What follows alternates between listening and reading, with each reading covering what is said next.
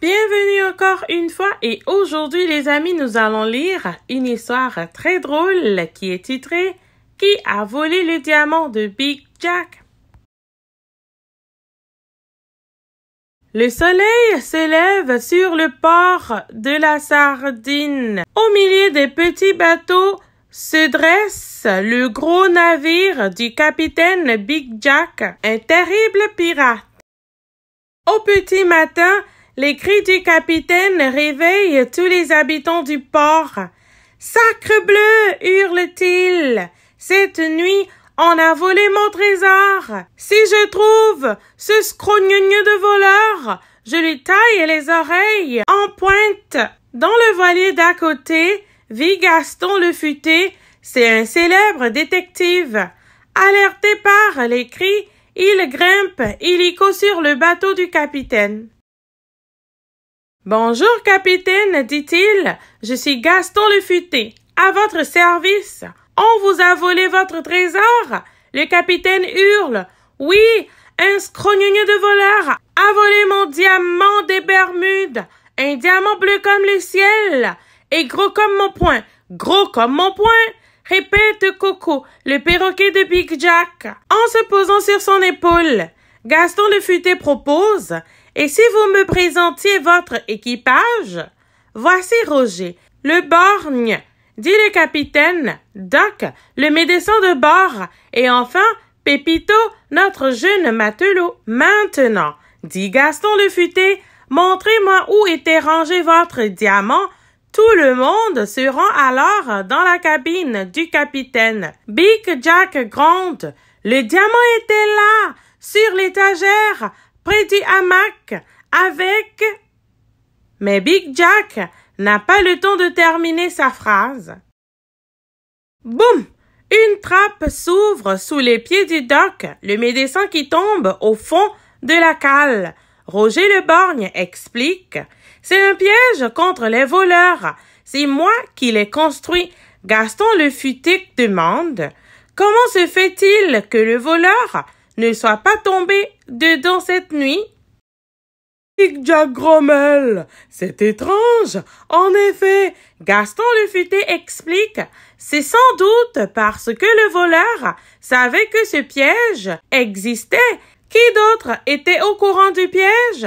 Moi, parbleu, répond Big Jack, mais aussi Roger le borgne, qui l'a fabriqué, et Pépito, mon matelot. Soudain, tac, tac, tac, Coco tape sur la porte avec son bec.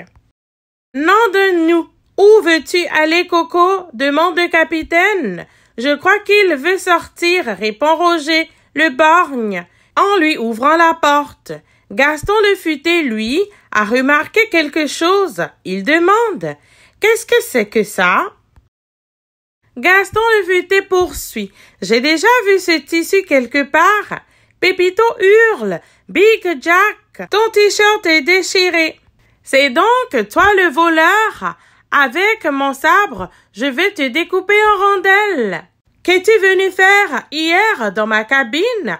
Mais, capitaine, barbouille Pépito, je suis venu vous apporter votre thé. Vous étiez fâché contre Coco, qui s'était envolé avec votre dessert. J'ai filé pour éviter votre colère. Et mon t-shirt s'est pris dans le sabre. C'est vrai, dit Big Jack. Dépité, j'avais oublié. Alors, Gaston le futé pose une nouvelle question. Capitaine, aviez-vous fermé votre porte à clé cette nuit? Pour sûr, je la ferme toujours à clé. Grande le capitaine.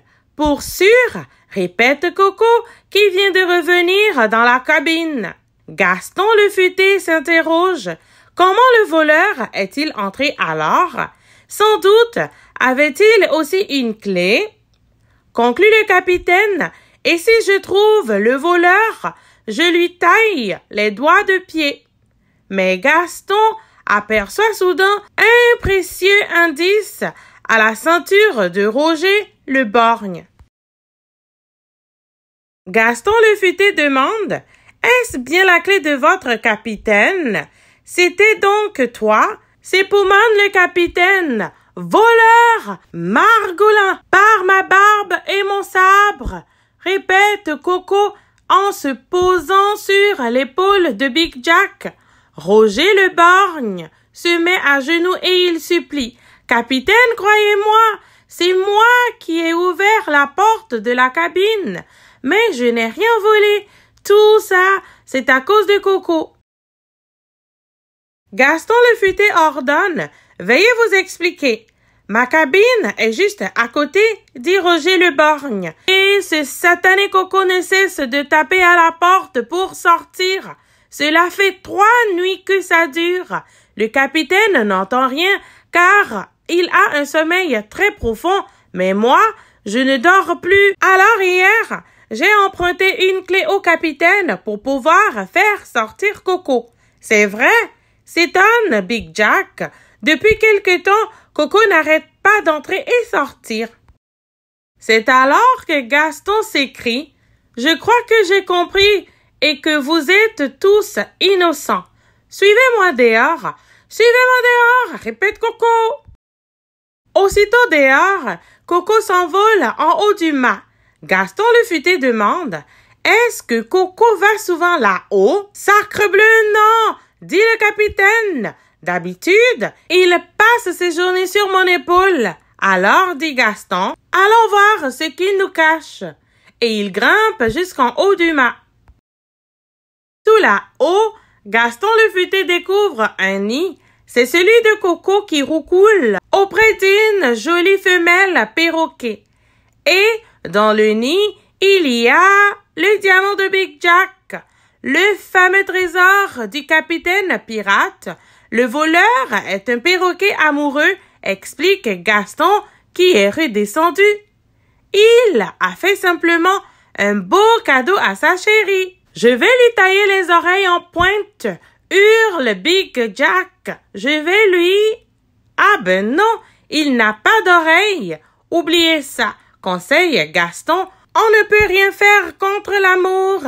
Rien faire contre l'amour, répète Coco.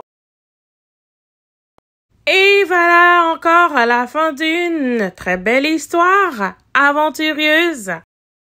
Bonne lecture surtout les amis, au revoir et à la prochaine surtout. Bye bye.